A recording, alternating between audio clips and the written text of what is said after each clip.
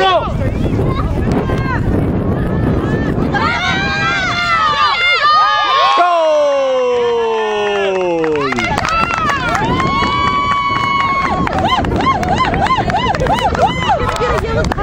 Es la misma camiseta.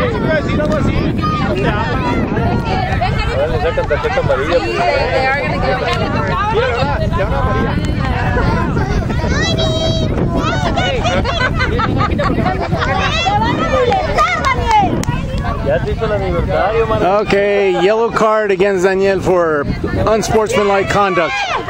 Showboating. Blue Sharks 2, Hornets nothing.